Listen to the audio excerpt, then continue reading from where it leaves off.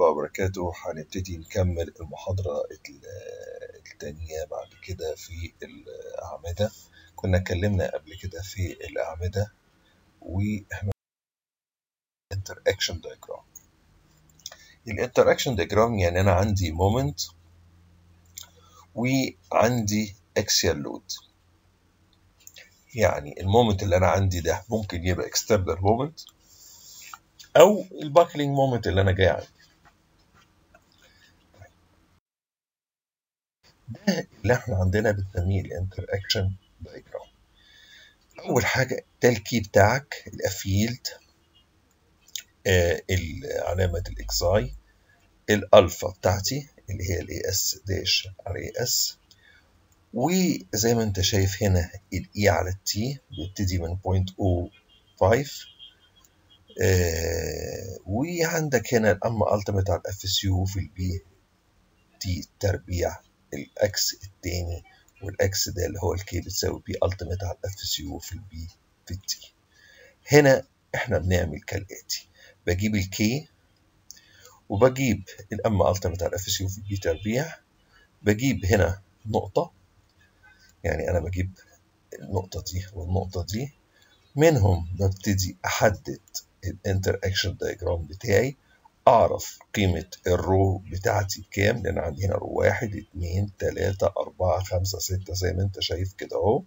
حددت القيمة بتاعتي وأعرف ال rho بتاعتي بكام. يبقى أقدر أقول إن ال rho في معادلة بتديها لي بنسبة ال mu آه نسبة حديد التسليح في القطاع. ويبقى أنا كده طلعت ال As وال As dash هنشوف بالظبط to determine the design method by using the interaction diagram.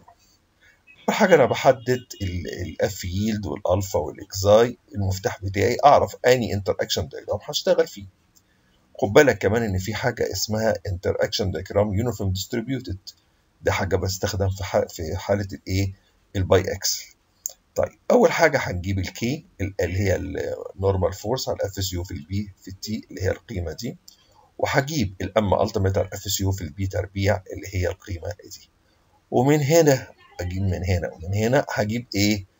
ال interaction ال rho المناسبة بتاعت ال interaction diagram حلو كده أنت جبت إيه؟ القيمة دي أو النقطة دي. هترسم بيها ال interaction diagram المناسب للنقطة اللي أنت جبتها.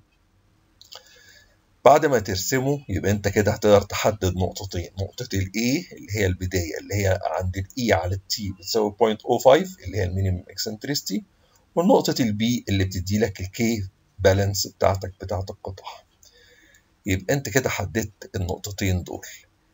معنى كده إيه؟ معنى كده إن أنا عندي النقطة من أول هنا لغاية هنا دي بنسميها نقطة الايه short column أو اللي أنت بتصمم كأنه short column يعني لو جالك أي الك... دي ال curve بتاعك. النقطة بتاعتك دلوقتي بقى اللي هتجيلك في خلال ال curve ده. في غضون A تبقى short column جالك في غضون B تبقى إيه compression failure يعني zone B. جالك في zone C تبقى tension failure يعني إيه؟ نقطة في ال zone C يبقى إحنا طريقة ال design بقى تقدر تحددها. النقطة في zone A compression failure وهو short column سو آسف short column في minimum eccentricity short column B اللي هي compression failure C اللي هي tension failure التحديد الصفحة بتاعتك عندنا ثلاثة factors اللي هو ال key chart بتاعتك. ال F yield انت طبعا عارف نوع ال steel 240 280 360 400 على حسب ال steel اللي انت هيجيلك. تاني حاجة الألفا بتاعتك. أنت طبعا عندك 0.8 و 1 لا أنت هتشتغل على ال 1 بعد كده ال xi عبارة عن ال t ناقص 2 cover على ال t يعني إيه أنا عندي ال t اللي هو إيه القطاع بتاعي. و2 cover هشيل 2 cover منه على ال t بتاعت القطع كله. يبقى أنا هطلع ال xi بتاعتي. زي مثلا لو عندك قطاع 80 سم ناقص 5 و5 تبقى 10 سم على 80 تبقى 0.87 يبقى أنا هشتغل مثلا على ال xi اللي هو مثلا ما بين ال point 8 و point لو point 9 تبقى أقرب لي مثلا.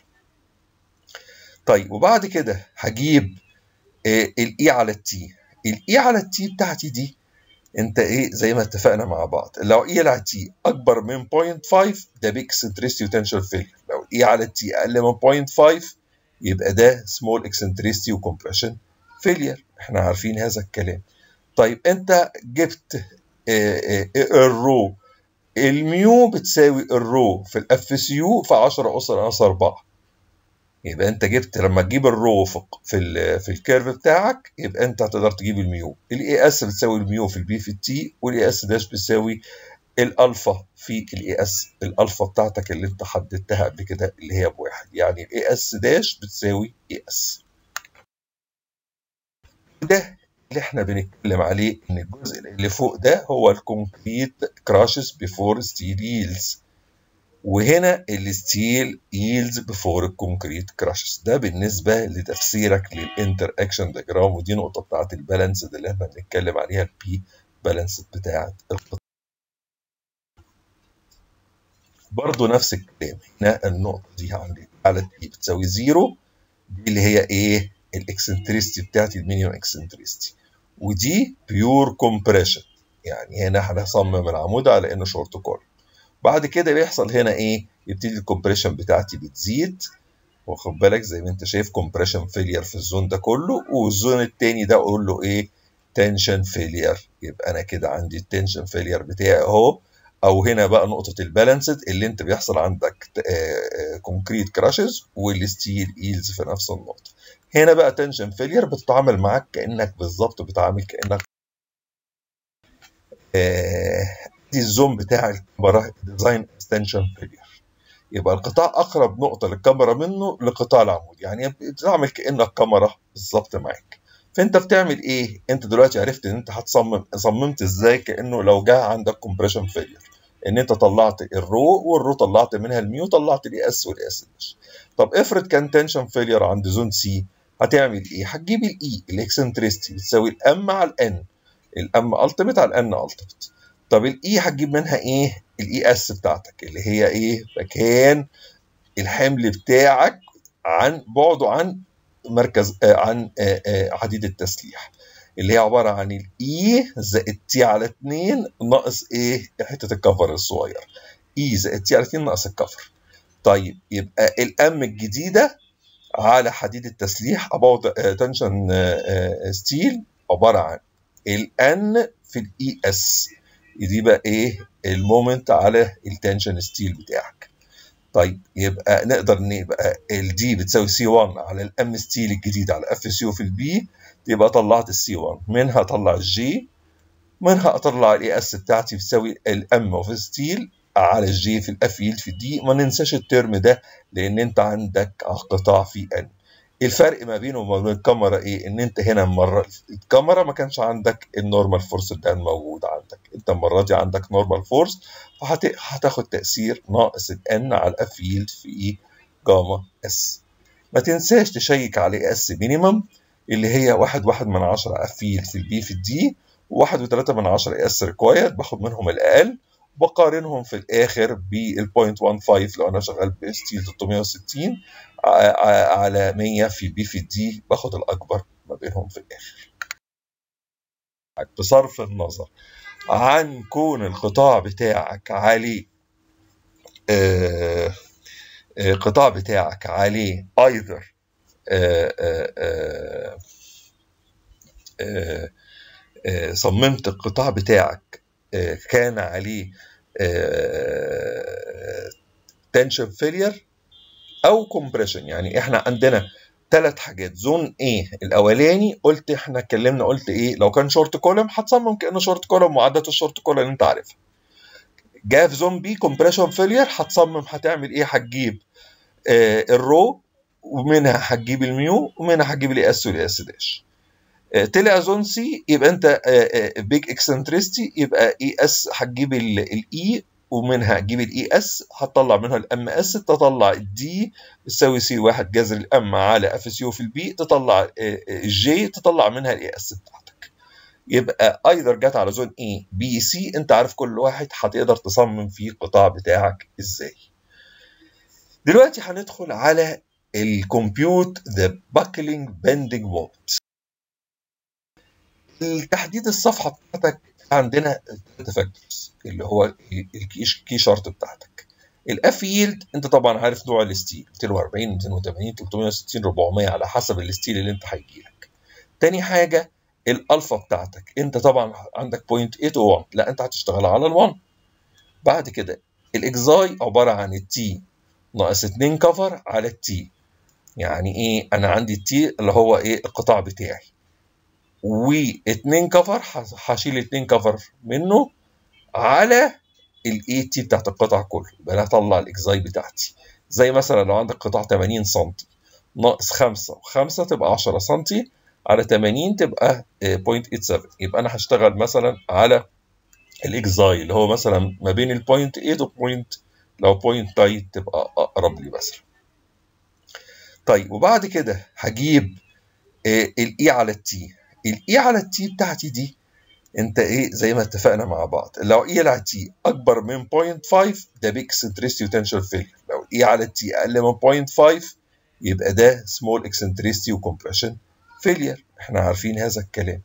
طيب أنت جبت ال rho ال mu بتساوي ال rho في ال f cu في 10 اس ناقص 4 يبقى انت جبت لما تجيب ال rho في في, ال في ال curve بتاعك يبقى انت هتقدر تجيب ال mu. ال A s بتساوي الميو في البي في التي والاي اس داش بتساوي الالفا في ال A s ال alpha بتاعتك اللي انت حددتها قبل كده اللي هي بواحد. يعني ال A s dash بتساوي A s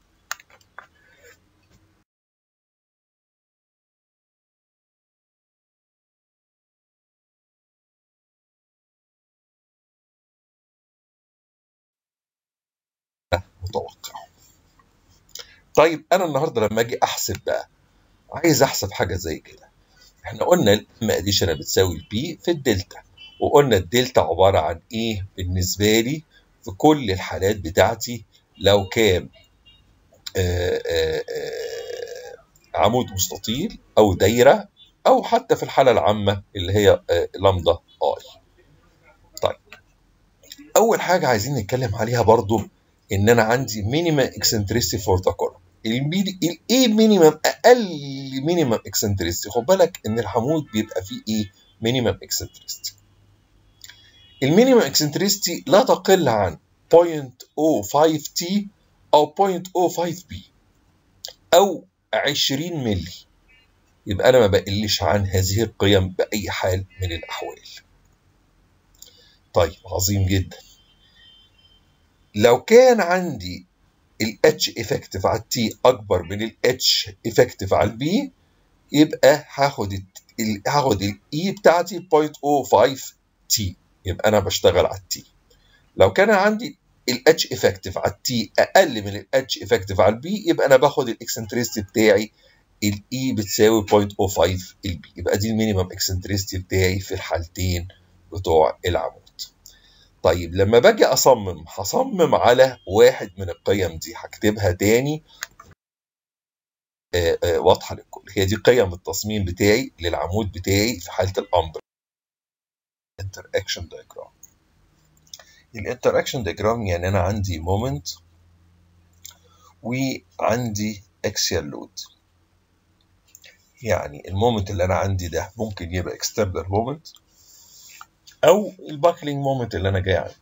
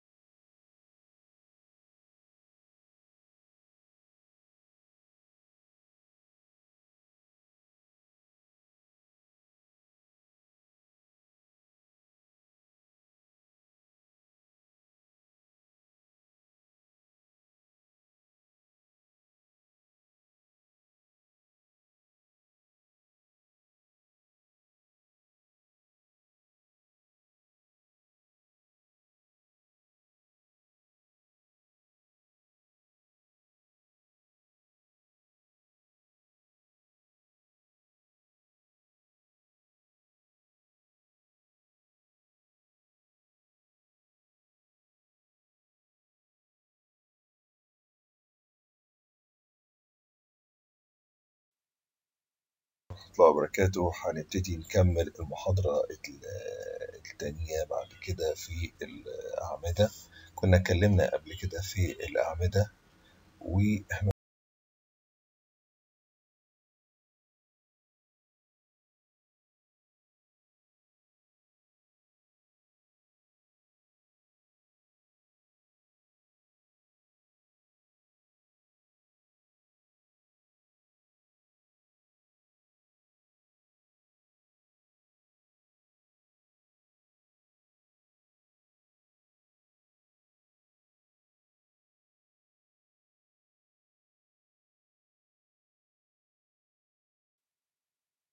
وتبان لك هنا اهو أكتر. اهي أنا هاخد دلوقتي ال case بتاعت إيه M 2 زائد M additional هي ال case الكبيرة أو M M 2 لوحديها.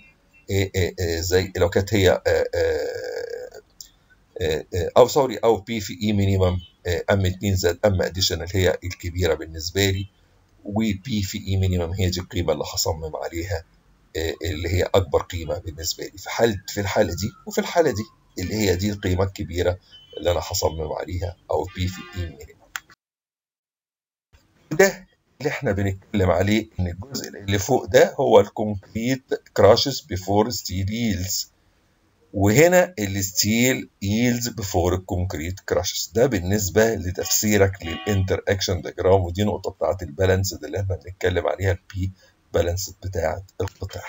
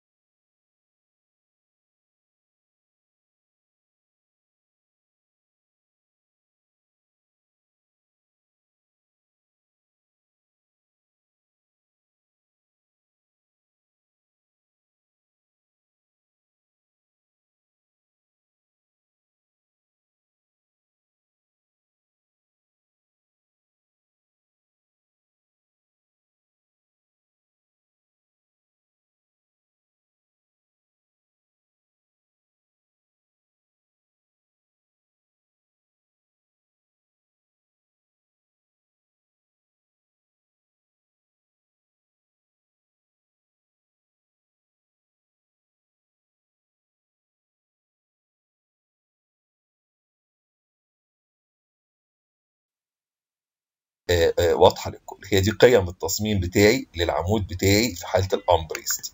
بس هكتبها برضو تاني.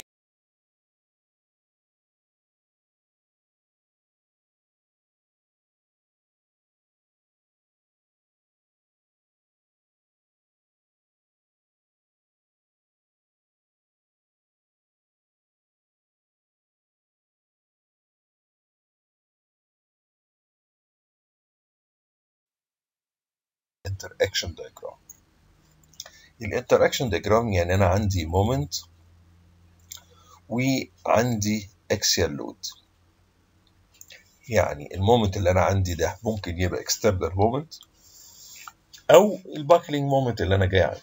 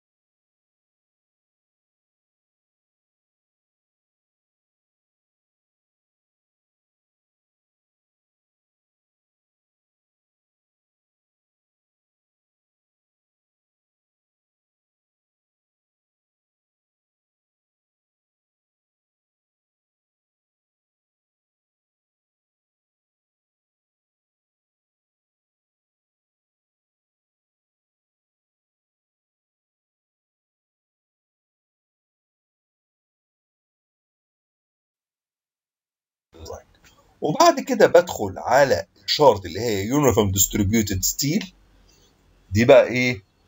نسبة حديد كله موزع. بإيه؟ uniform distributed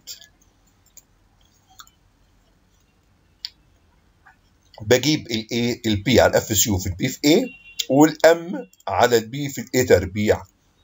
ال M x أو ال M y بعد كده بجيب ال rho بجيب ال mu بتساوي rho في Fcu في 10 أس ناقص 4 يبقى ال As بتاعتك mu في ال b في ال t مهم تبقى أكبر من ال minimum ووزعها على القطاع بتاعي كأني بقسم ال As على 4 زي ما أنت شايف كده أهو على أربع أركان. يبقى إحنا كده صممنا القطاع. ده ال curve اللي أنا قلت لك عليه اللي أنت بتطلع بيه البيتا.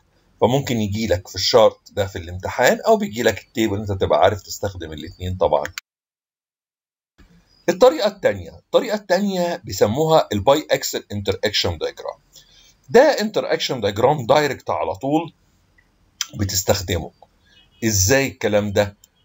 في عندك طبعا بتجيب حاجة اسمها ال Rb يساوي ال ultimate على Fcu في ال b في ال t بتطلع لك قيم مختلفة. على حسب القيمة اللي أنت بتطلع لك بتشتغل ال chart بتختار ال chart المناسبة ليها بتس... بالتسليح بال xi بكده. طيب بقوم أجيب إيه؟ ال M بتاعتي. x على Fcu في ال b في ال t تربيع وال My في ال Fcu في ال b في ال t تربيع. إيه؟ في الاتجاهين. أطلع من هنا ومن هنا أجيب نقطة أجيب بيها ال rho أحطها تبقى دي نسبة التسليح اللي أنا محتاجها في القطاع بتاعي. So determine the design method by using the interaction diagram. أول حاجة أنا بحدد ال F yield وال alpha وال xi المفتاح بتاعي أعرف أني interaction diagram هشتغل فيه. خد بالك كمان إن في حاجة اسمها interaction diagram uniform distributed دي حاجة بستخدم في في حالة الايه ال biaxial طيب أول حاجة هنجيب ال K اللي هي ال normal force على Fcu في ال b في ال t اللي هي القيمة دي وهجيب ال M ultimate اس يو في البي تربيع اللي هي القيمة دي. ومن هنا أجيب من هنا ومن هنا هجيب إيه ال interaction ال rho المناسبة بتاعت ال interaction diagram حلو كده أنت جبت إيه؟ القيمة دي أو النقطة دي. هترسم بيها ال interaction diagram المناسب للنقطة اللي أنت جبتها. بعد ما ترسمه يبقى انت كده هتقدر تحدد نقطتين. نقطة ال A اللي هي البداية اللي هي عند ال e على ال t بتساوي 0.05 اللي هي ال minimum eccentricity والنقطة ال B اللي بتدي لك ال K balance بتاعتك بتاعت القطاع. يبقى انت كده حددت النقطتين دول. معنى كده إيه؟ معنى كده إن أنا عندي النقطة من أول هنا لغاية هنا دي بنسميها نقطة ال examples علشان نبتدي نتمرن على الطرق المختلفة في ال design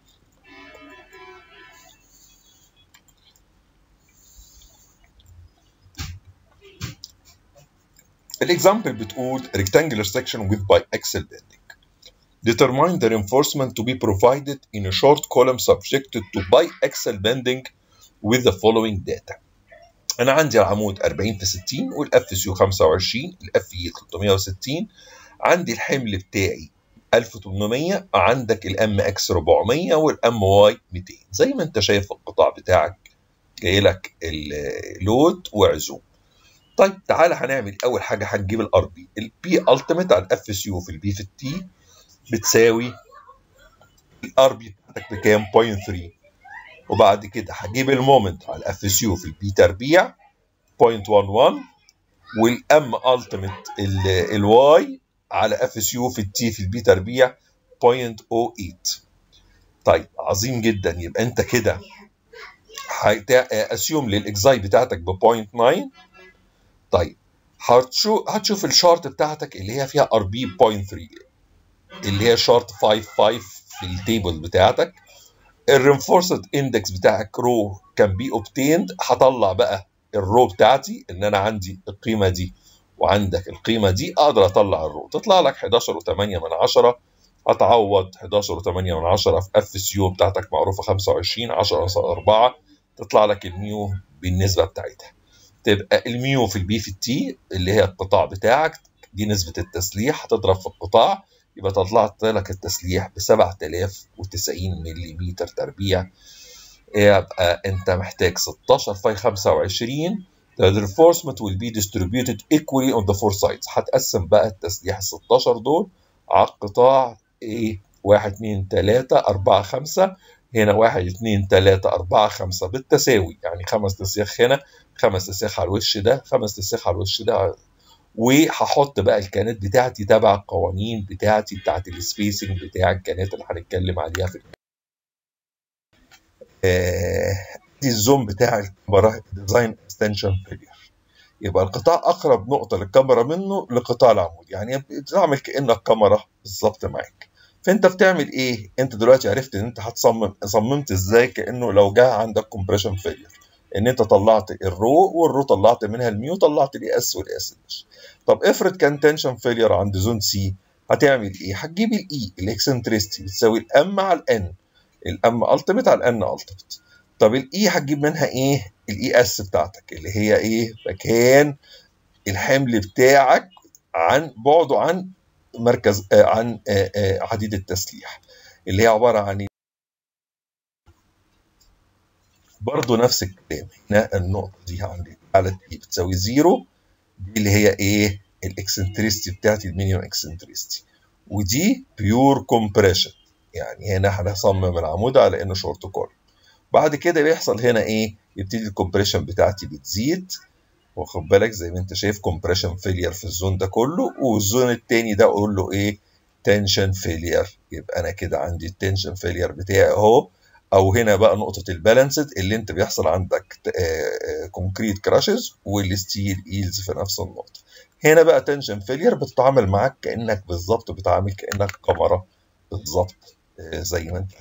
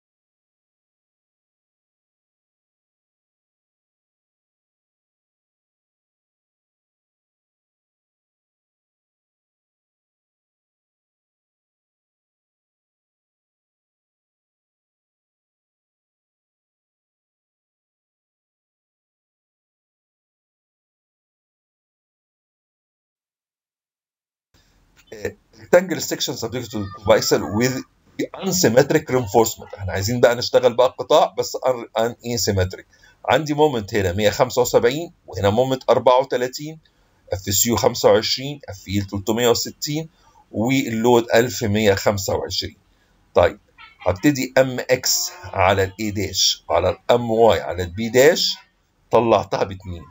من ال table اللي أنا عندي في الكود أنا عندي هنا بطلع برضو ال Rb بتاعتك تطلع لك 1125 في 1025 تطلع لك 0.3 تبقى من ال table بتاعك أقدر أطلع الايه ال alpha b اللي هي تطلع لك 1.35 هتضرب ال M بتاعتك اللي هي 175 في 1.35 اللي أنت طلعتها و moment تاني ال 34 في 1.35 اللي أنت طلعتها.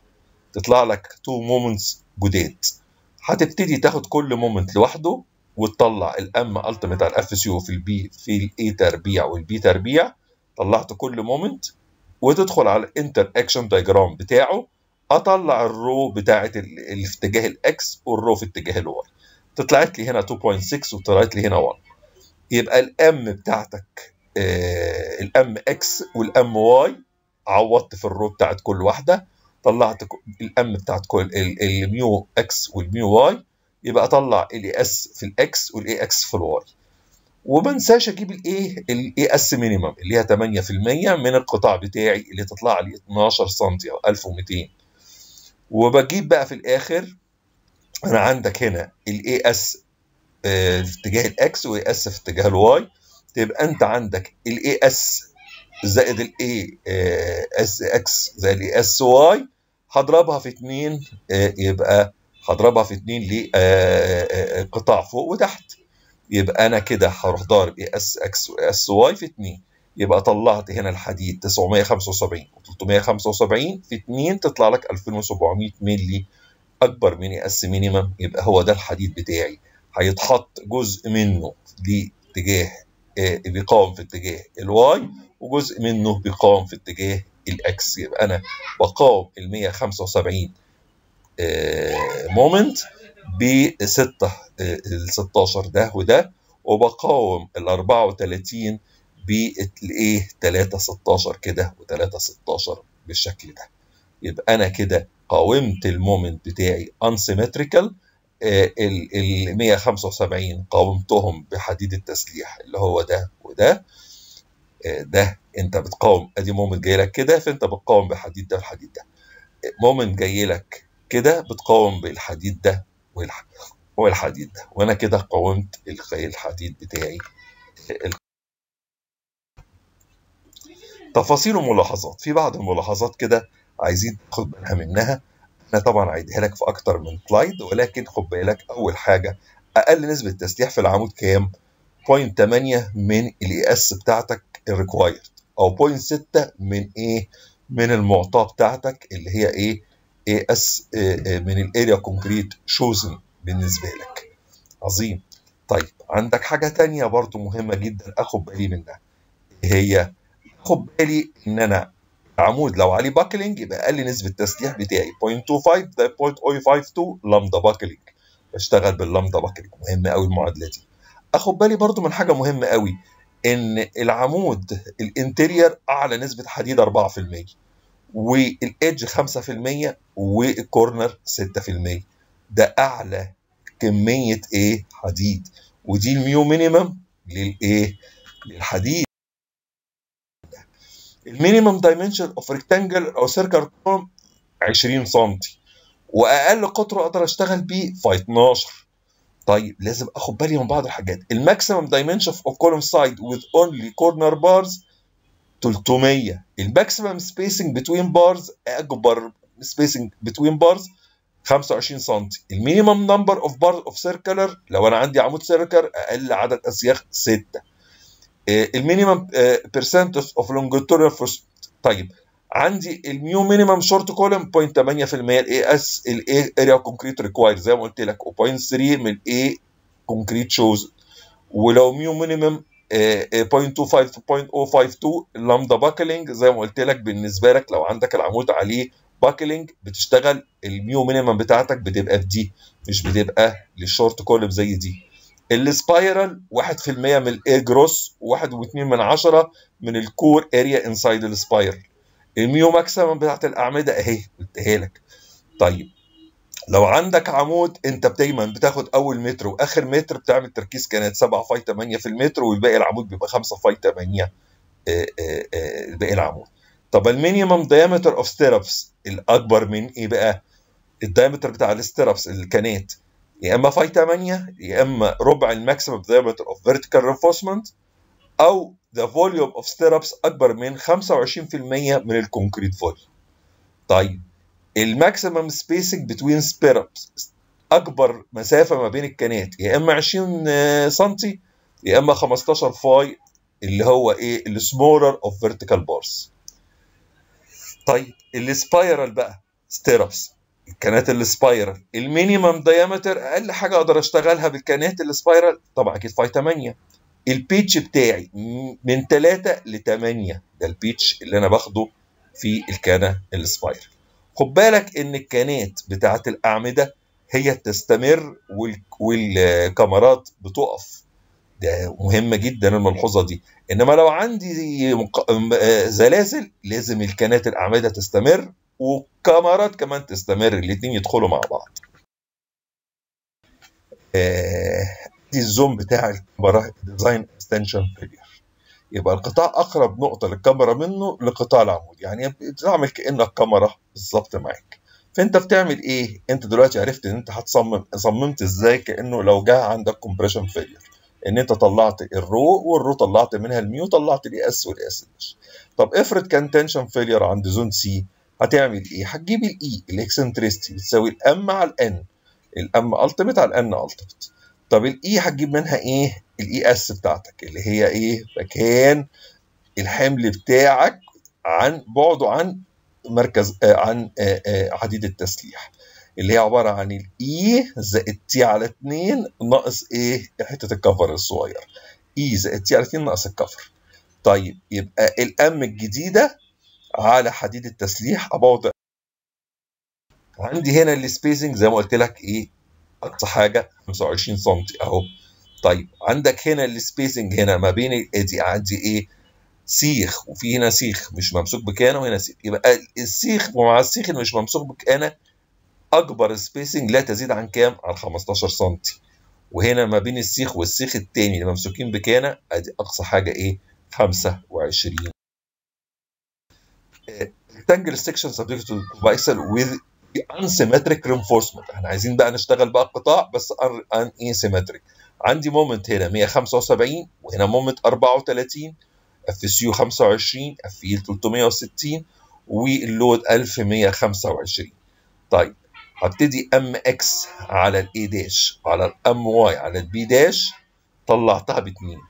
من ال table اللي أنا عندي في الكود أنا عندي هنا بطلع برضو ال Rb بتاعتك تطلع لك 1125 في 1025 تطلع لك 0.3 تبقى من ال table بتاعك أقدر أطلع الايه ال alpha b اللي هي تطلع لك 1.35 هتضرب ال M بتاعتك اللي هي 175 في 1.35 اللي انت طلعتها و moment تاني ال 34 في 1.35 اللي انت طلعتها. تطلع لك 2 moments جداد. هتبتدي تاخد كل moment لوحده to determine the design method by using the interaction diagram. أول حاجة أنا بحدد ال F yield وال alpha وال xi المفتاح بتاعي أعرف أني interaction diagram هشتغل فيه. خد بالك كمان إن في حاجة اسمها interaction diagram uniform distributed دي حاجة بستخدم في في حالة الإيه؟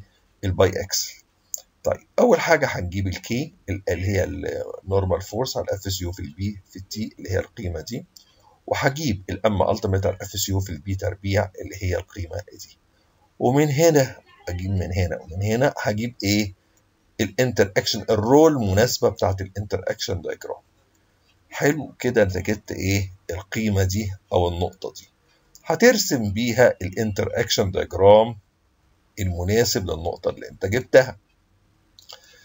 بعد ما ترسمه يبقى انت كده هتقدر تحدد نقطتين. نقطة ال A اللي هي البداية اللي هي عند ال e على ال t بتساوي 0.05 اللي هي ال minimum eccentricity والنقطة ال B اللي بتدي لك ال K balance بتاعتك بتاعت القطاع يبقى انت كده حددت النقطتين دول. معنى كده إيه؟ معنى كده إن أنا عندي النقطة من أول هنا لغاية هنا دي بنسميها نقطة ال A short column أو اللي أنت بتصمم كأنه short column يعني لو جالك أي الك... دي ال curve بتاعك. النقطة ده اللي إحنا بنتكلم عليه إن الجزء اللي فوق ده هو ال concrete crushes before steel yields وهنا ال steel yields before ال concrete crushes ده بالنسبة لتفسيرك لل interaction diagram ودي نقطة بتاعت ال balance اللي إحنا بنتكلم عليها ال B balance بتاعت القطاع